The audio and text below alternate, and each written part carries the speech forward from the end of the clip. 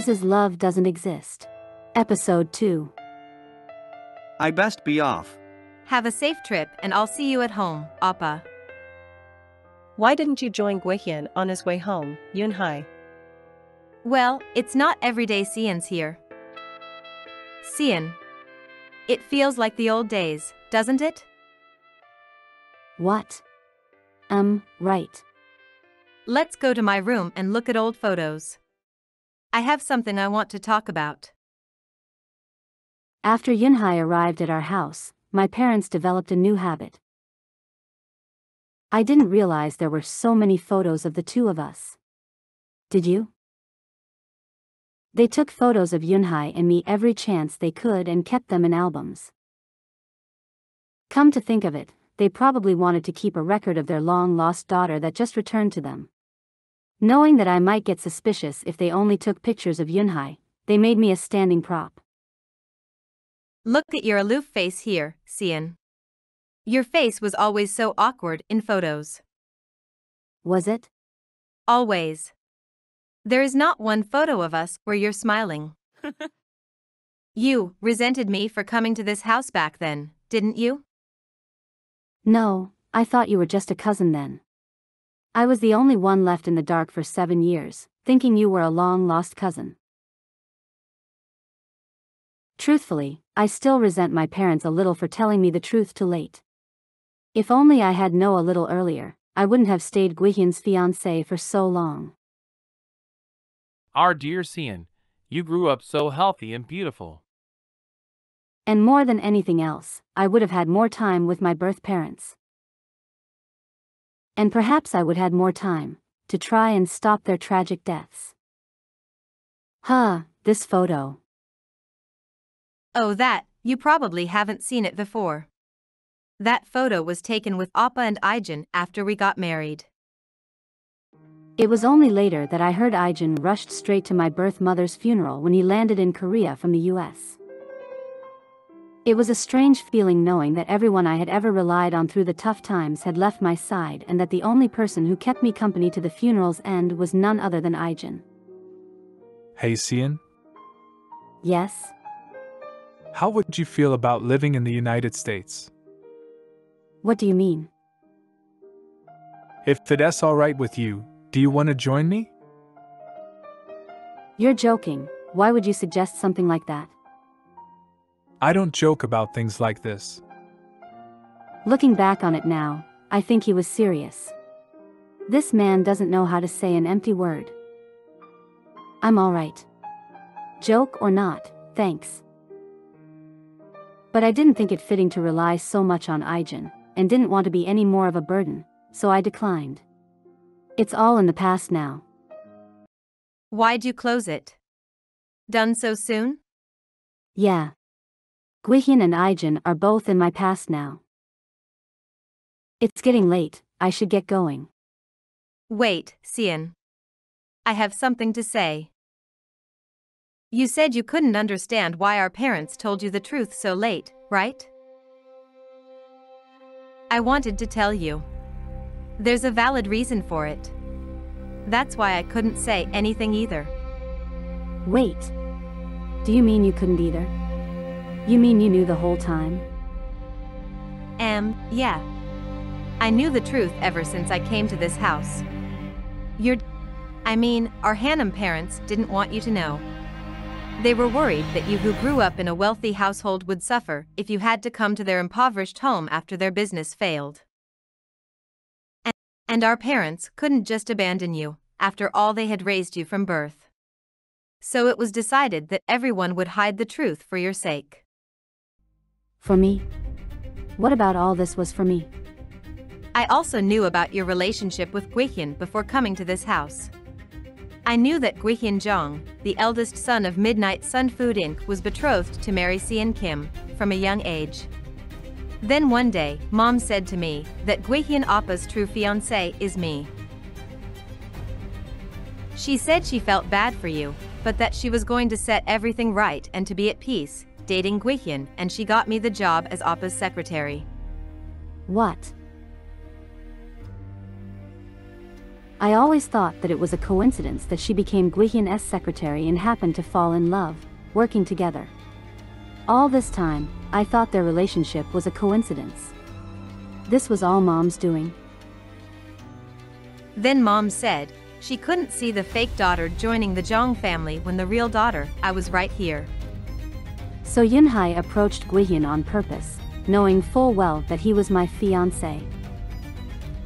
The betrayal hit me like a ton of bricks.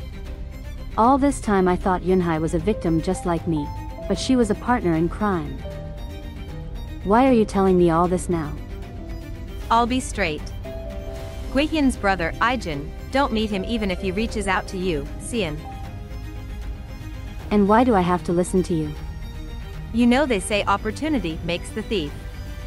You might start to covet Ijin out of grief over Gwihyeon. What? Mom always says poor people value money more than their pride of self-respect. Of course, I know you're reasonable enough not to be like that but, poverty can change you.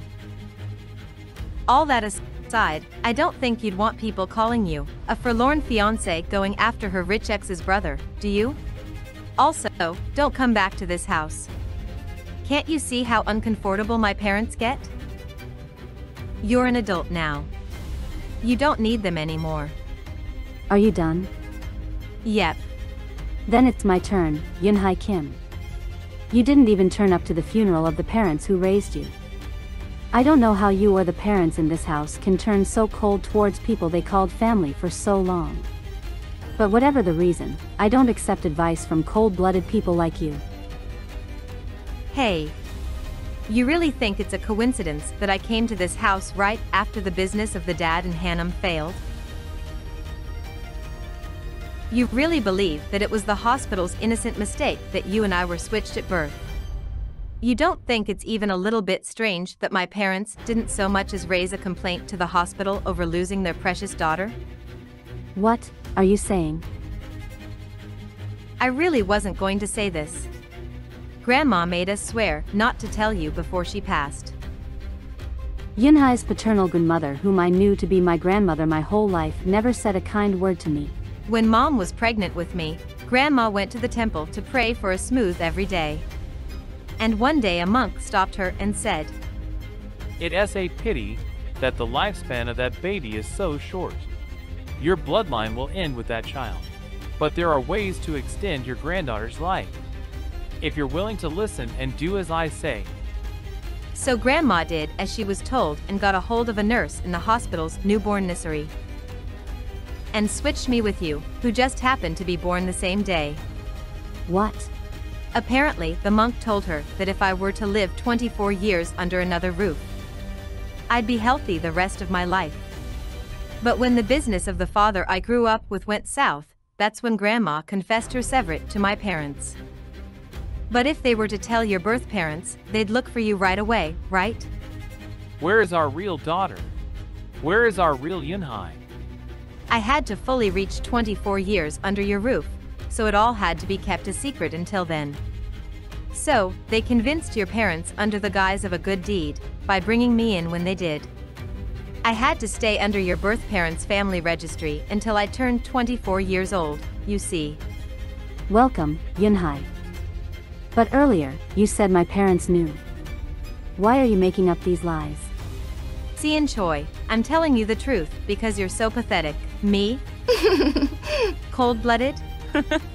My parents and I didn't change overnight. We've known. I'm sure you can sense which is the truth. Say it. What? What are you saying? Say that it's all a lie you've concocted. She's lying. If these aren't lies, that means that my birth parents and I for 25 years. We were all playthings under the control of this icon family. If this is all true, what's to become of my dead parents, who died burdened with guilt and no knowledge of the truth? Of course, I feel bad. How was I to know they'd die so quickly? But it's not like you and your family only got the short end of this deal. What? You grew up rich and beloved by this household and Guihyans instead of me. And grandfather in Suwon bought you a considerable amount of land out in Gyeonggi province. You've enjoyed so much on my behalf.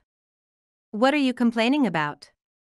These parents sold that land, saying the possession tax was too high, soon after Eunhye arrived. With that money, they built a building in the middle of Gangnam in Eunhye's name. If the icon parents had felt any remorse over Eunhye's grandmother deeds and decided to pay their debts by helping my birth parents, they might be alive today. My heart could burst from the anger and resentment I feel towards Eunhye's family. Eunhye Kim. You were also loved instead of me by my Hanam parents. I heard you guys went on vacations abroad each summer and you were tutored in every subject. But when the people who raised you hit hard times, you didn't even think to visit them, let alone help them. And you say you're not cold-blooded? I'm not. You don't think I felt bad? Don't act like you know everything. When dad collapsed, all mom did was cry. What was I to do? Don't make excuses. You felt like your impoverished parents were a burden and wanted out. Speak for yourself, Siyeon Choi. You're the one there for scraps. No, I'm not. My parents and I aren't like you and your parents, using others' lives for your own gain with no remorse. I guess this is why they say blood is thicker than water. You take after your grandmother and parents in your selfishness and shamelessness. What did you say, Siyeon Choi? You'd better shut your mouth. I'm not done. Today's my birthday too. And I haven't made a wish yet. I'm going to make it now. Join me and help make it come true. My wish is that you'll be as miserable as I am. No more, no less. Exactly as miserable as I am, Eunhye. How dare you curse me? I was taking pity on you, and this is the thanks I get? Eunhye. Mom? What's the matter? You look pale. It's terrible, Eunhye. Just terribles. Gwihyeon is, he's. What happened to Oppa? Gwihyeon got into a car accident on his way home. And died on site. To be continued.